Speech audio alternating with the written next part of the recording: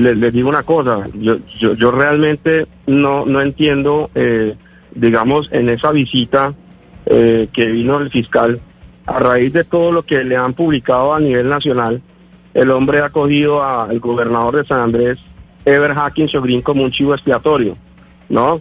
Yo llegué aquí al cargo batallando contra maquinarias políticas de 70 años, ¿no?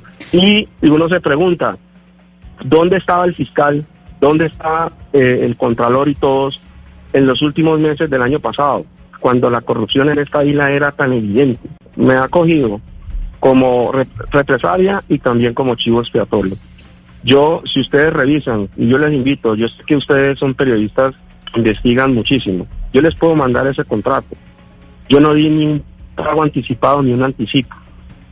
El contrato se ampara y se justifica en los decretos de emergencia eh, sanitaria del gobierno nacional. Yo no, eh, el contrato se celebró para comunicarle a una comunidad étnica como la que es el archipiélago de San Andrés, provincia Santa, Santa Catalina, en español, en criol y en inglés, sobre la COVID-19.